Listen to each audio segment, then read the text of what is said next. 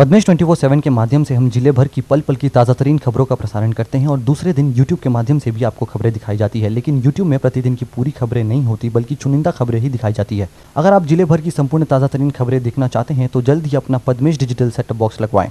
Setup box लगवाने के लिए संपर्क करें ज़ीरो या फिर एट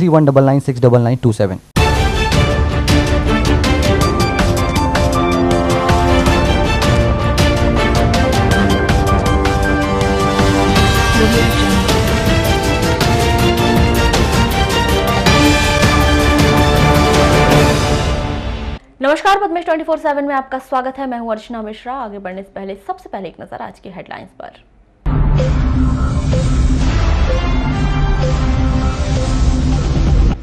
मास्क नहीं पहनने पर हज़ारों का जुर्माना वसूल करने वाली नगर पालिका कोरोना पर स्वयं है कितनी जिम्मेदार? देखिए कैसे चल रहा है कार्यालय में काम। ज़िले के बॉर्डर पर पकड़े गए 225 धान से लदे ट्रक जल्द शुरू हो सकती है व्यापारियों पर कार्रवाई।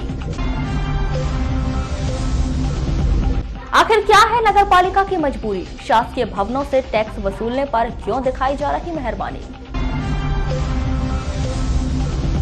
ऑनलाइन के भरोसे होगी महाविद्यालय की पढ़ाई, एडमिशन लेट हुए तो क्या? समय पर हो सकती है परीक्षा। और अब खबरें विस्तार से। कोरोना संक्रमण काल में नगरपालिका परिषद बालाघाट में एक कहावत बड़ी तेज़ी से चरितार्थ हो रही है। जब सैया भय कोतवाल तो डर किस बात का? जी हाँ तस्वीरें झूठ नहीं बोलती। जब पद्मेश न्यूज़ का कैमरा ऑन हुआ तो सारी की सारी बात उस पर रिकॉर्ड हो गई, जिसे देखकर आप भी कहेंगे कि नगरपालिका का यह दोहरा रवैया क्यों अपना रहा है? सड़क चलते लोगों पर मास्क नहीं पहनने पर कार्यवाही कर रहा है और खुद ही बगैर मास्क के लापरवाही बरत रहा है।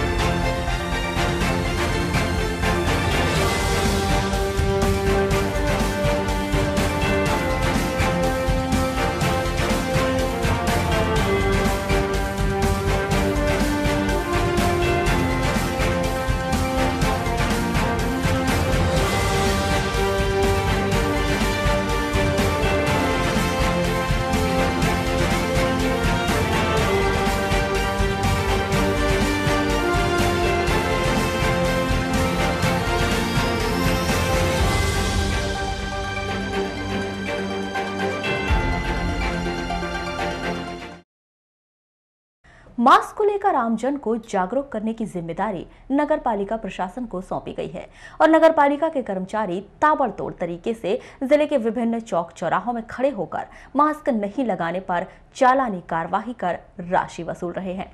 लेकिन नगर पालिका के विभिन्न विभागों में काम करने वाले कर्मचारियों की बात करें तो उन्हें नगर पालिका की ओर से अभय दान दे दिया गया है। और मास्क को लेकर लोगों को ज्ञान देने वाले नगर पालिका के कर्मचारी खुद ही शासन की गाइडलाइन का पालन नहीं कर रहे हैं। यहाँ तक कि खुद मुख्य नगर पालिका अधिकारी भी मास्क लगाने को लेकर तवज्जो देते नज़र नहीं आ रहे हैं। लेकिन इनके चालान कौन काटे? ये तो आम जनता को ही तय करना पड़ेगा। पद्मेश न्यूज़ की टीम ने जब नगर पालिका के सभी विभागों का जायजा लिया तो अधिकांश कर्मचारियों के द्वारा मास्क ही नहीं लगाया गया था। कुछ कर्मचारियों ने मास्क को गले में टांग रखा था। औपचारिकता पूरी करते हुए वे नज़र आ रहे थे और कुछ कर्मचारी मीडिया को देखते ही अपने मास्क को ढूँढने में लग गए।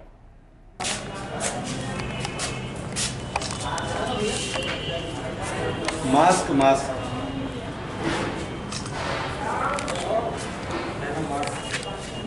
Yeah.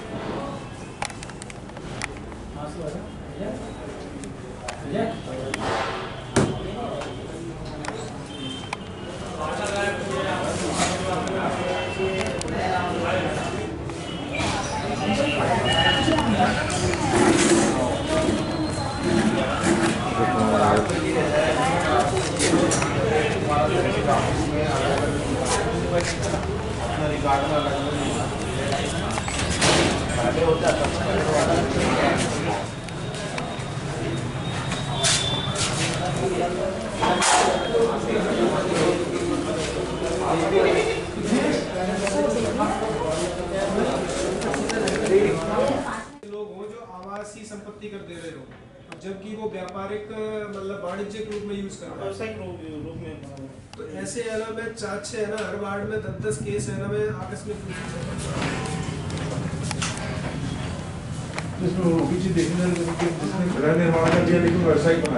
चलिए दिखाते हैं नगर पालिका के जिम्मेदार क्या कहते हैं जैसे कि आप अभी रिसेप्शन पे बैठे हो मास्क तो लगा है लेकिन मास्क को हटा दिए तो ऐसे मास्क लगाने का मतलब क्या है क्या मतलब क्या है फिर ऐसे में? ये तो वो नहीं लगाए और लगाए के बराबर ही हो गया। तो मास्क कितना ज़रूरी समझते हैं आप? मास्क बहुत ज़रूरी है। तो फिर आप मास्क प्रॉपर क्यों नहीं लगा रहे? क्योंकि आपके पास तो पचास लोग आएँगे। आपसे जानकारी पूछते होंगे कोई विभाग पूछते होंगे। क्या मानते हैं नगर पालिका जो है कार्रवाई कर रही है मास्क जो नहीं लगा रहे हैं। और यहाँ के कर्मचारी मास्क नहीं लगा रहे हैं तो कहाँ तक उचित मानते हैं? गलत है।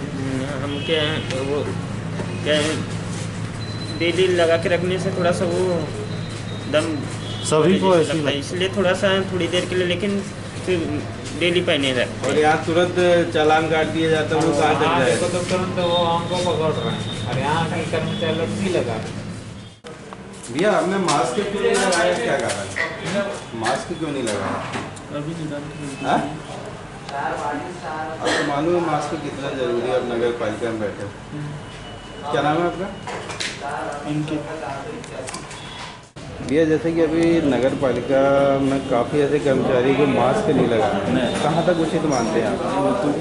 वाजिब है कि मास्क लगाना चाहिए। पूरे ऑफ़िस में कहीं कोई मास्क नहीं नहीं अभी हम लोग काम फ़ोन में बात कर रहा हूँ जो जिसकी जो टेंशन है उनको फ़ोन लगाते जा रहा हूँ। इस कारण लगे हुए मास्क लगे हुए हैं सभी के पास। के क्या थोड़ा सा काम करते समय उसको हटाना पड़ता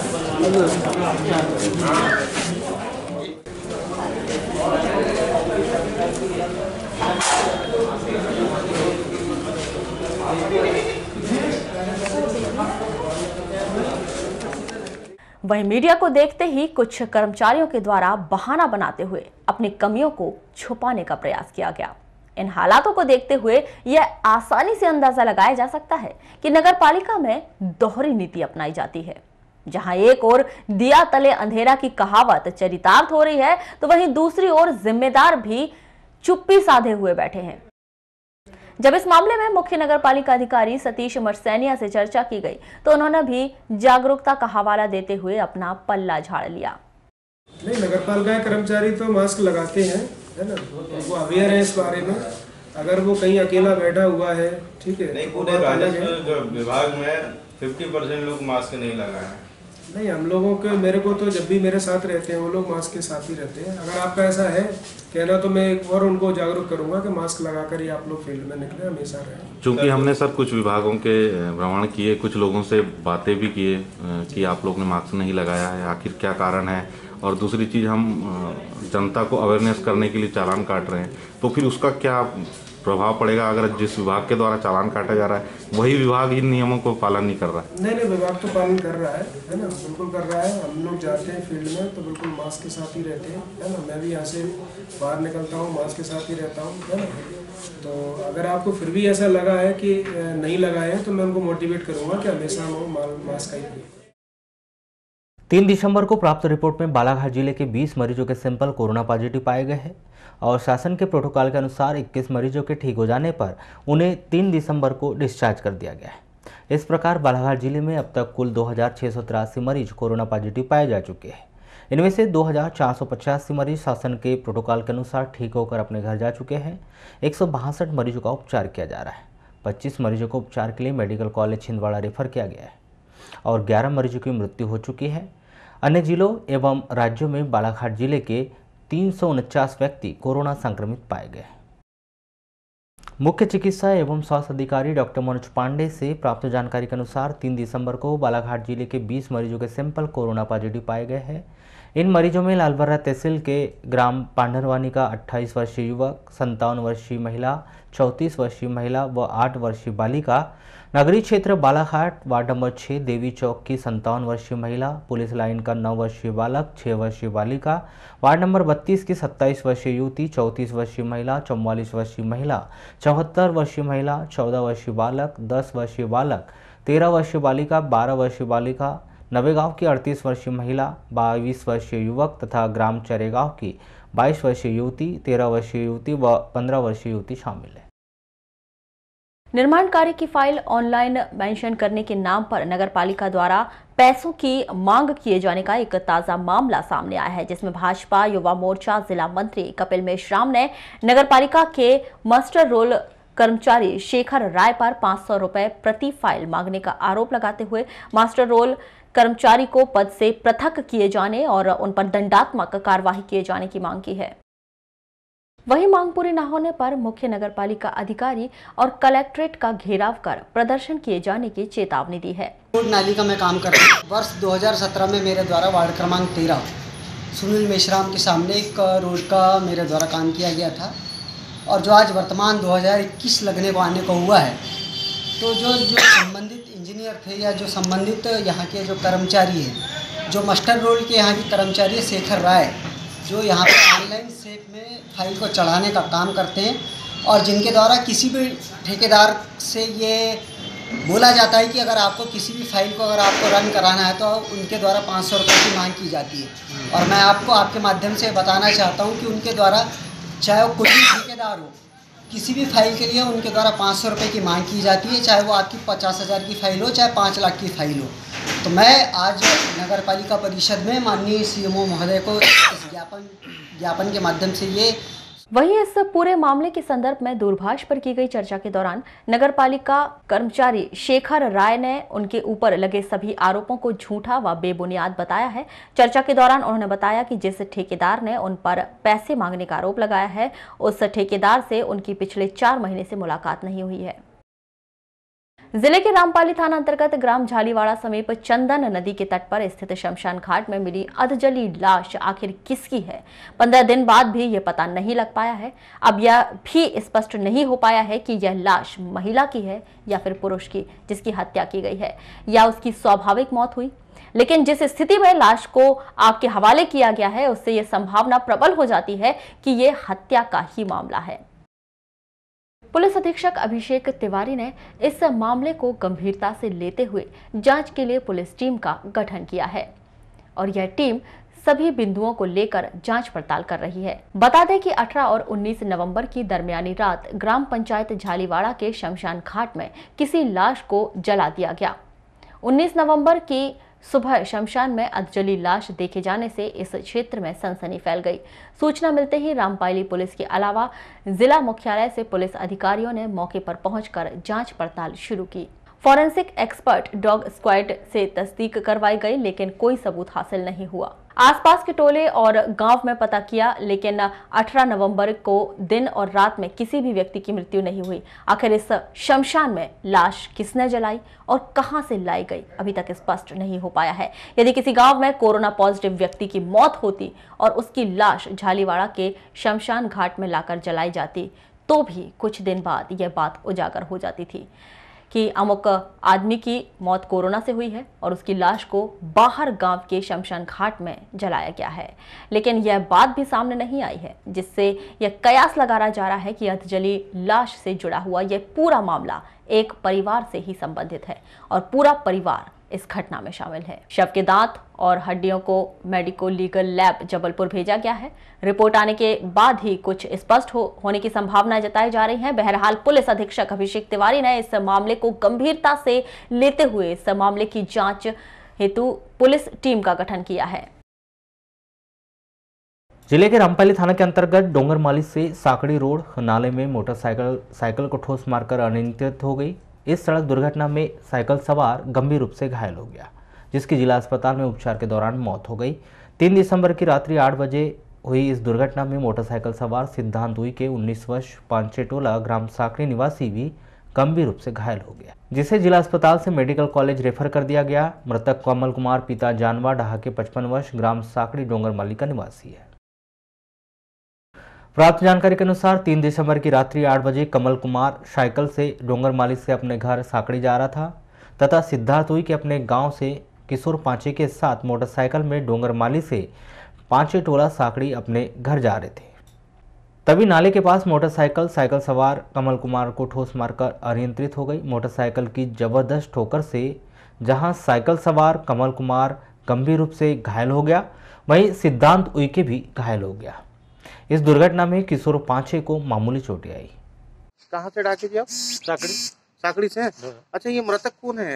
ये कमल नाम उसका कमल है। जी हाँ। कमल ढाके अच्छा कैसी क्या घटना हुई थी इनके साथ में? क्या जानकारी है इनके मेरे को तो कुछ सवेरे पर पता लगा मैं एक तारीख को गाँव गया था कहाँ? तुम्हारे लीला में शादी जी। यही बालाघाट में लड़की दी है खीतू साहब के यहाँ पे। जी। तो मैं वहीं रह गया रिश्तेदारी में। आज आया जब पता लगा कि फलाना हो गया तब हमने बोले थोड़ा बहुत चंदा करो यार इसके लिए कुछ तो भी करो। तो कहाँ की घटना थी ये? ये सागड़ी के नाले के। कहाँ जा रहे थे बोलते समय वो कबाड़ी बेच के घर आ रहा था बोले। अच्छा कबाड़ी बेचने हाँ कबाड़ी। तो किसने मारा बोलते ठोस इनको ज़िले के हट्टा थाना क्षेत्र के अंतर्गत आने वाले ग्राम सिंगोड़ी नहर पुल के पास डंपर मोटरसाइकिल को ठोस मारकर फरार हो गया।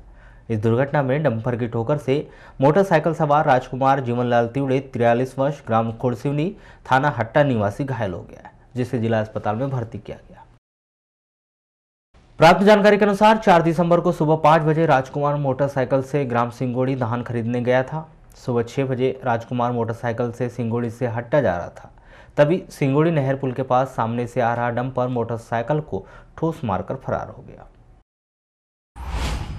रामपाली थाना अंतर्गत 30 वर्षीय महिला के साथ छेड़छाड़ करने के आरोपी मेघराज सहारे को गिरफ़्तार कर रामपाली पुलिस ने शुक्रवार की सुबह उसके घर से ही उसे गिरफ़्तार कर न्यायालय के समक्ष पेश किया गया, जहाँ से न्यायालय ने उसे जेल भेज दिया।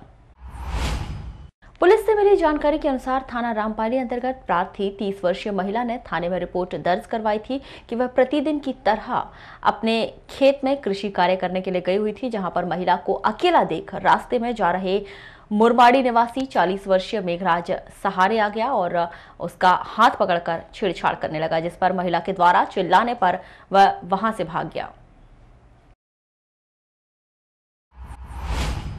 अपने पदीय कर्तव्यों के प्रति लापरवाही और उदासीनता बरतने के कारण जिला पंचायत सीईओ उमा माहेश्वरी ने ग्राम पंचायत खुरसौड़ी के सचिव कृष्ण कुमार रनगरे को तत्काल प्रभाव से निलंबित कर दिया है।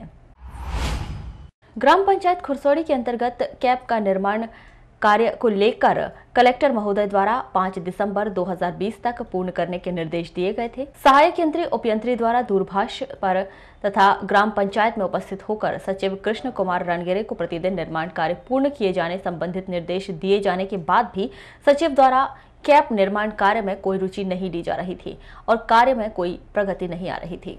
उच्च अधिकारियों के निर्देशों की अवहेलना और सचिवीय दायित्वों के निर्वहन में घोर लापरवाही बरतने के कारण जिला पंचायत सीईओ उमा माहेश्वरी ने मुख्य कार्यपालन अधिकारी, जनपद पंचायत बालाघाट की अनुशंसा पर मध्य प्रदेश पंचायत राज एवं ग्राम स्वराज अधिनियम के तहत कार्यवाही करते हुए ग्राम पंचायत खुरसौड़ी के सचिव कृष्ण कुमार रणगिरे को तत्काल प्रभाव से निलंबित कर दिया है।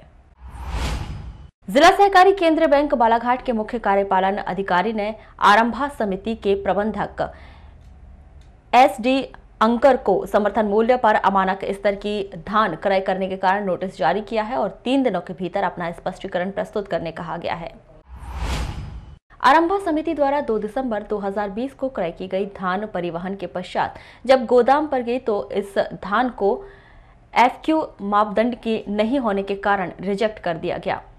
जिस पर जिला विपणन अधिकारी द्वारा 3 दिसंबर को और जिला सहकारी केंद्रीय बैंक बालाघाट के मुख्य कार्यपालन अधिकारी द्वारा 4 दिसंबर को रिजेक्ट की गई धान का निरीक्षण किया गया और पाया गया कि आरंभ समिति के प्रबंधक द्वारा शासन के मापदंड के अनुसार एफक्यू मापदंड का धान नहीं खरीदा जा रहा है। इस पर समिति प्रबंधक एस डी अंकर को कारण बताओ नोटिस जारी कर स्पष्टीकरण प्रस्तुत करने कहा गया है। सहकारी समितियों में अन्य राज्यों की धान समर्थन मूल्य पर बिक्री के लिए न आ पाए। इसके लिए जिला प्रशासन द्वारा सतत जाँच कार्यवाही की जा रही है। इस कार्यवाही के दौरान कटंगी तहसीलदार श्री राय द्वारा ग्राम उमरी में 40 बोरी गेहूँ और 21 बोरी चना जब्त किया है। गेहूँ और चना की बोरी पर रायसेन एवं सागर ज़िले की सहकारी समितियों की सील लगी पाई गई और उन पर प्रधानमंत्री गरीब किसान कल्याण योजना लिखा पाया गया।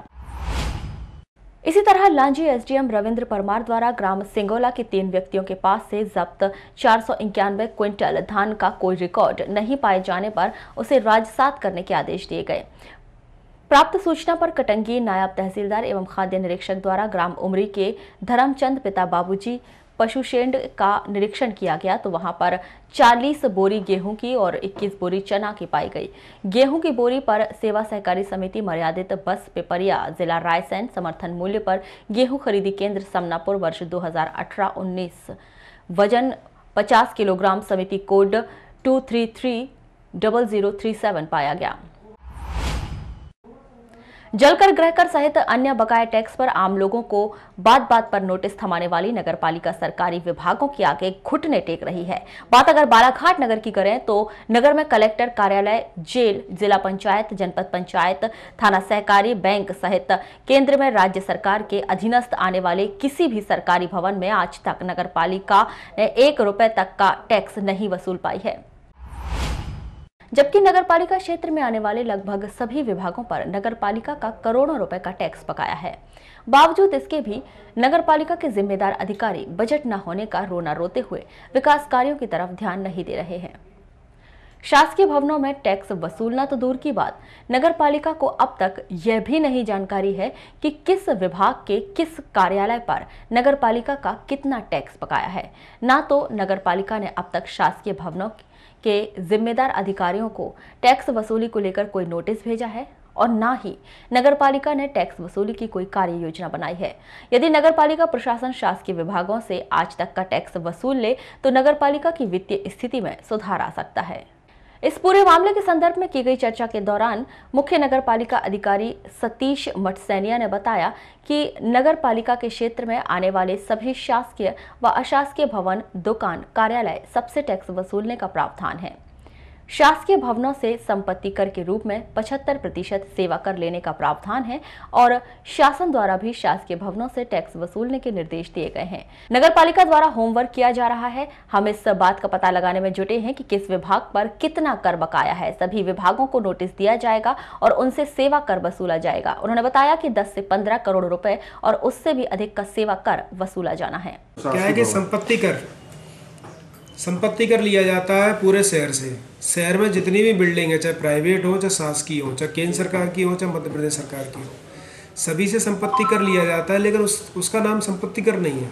उसका नाम है सेवा प्रभार और ये लिया जाता है संपत्ति कर का सेवेंटी फाइव परसेंट।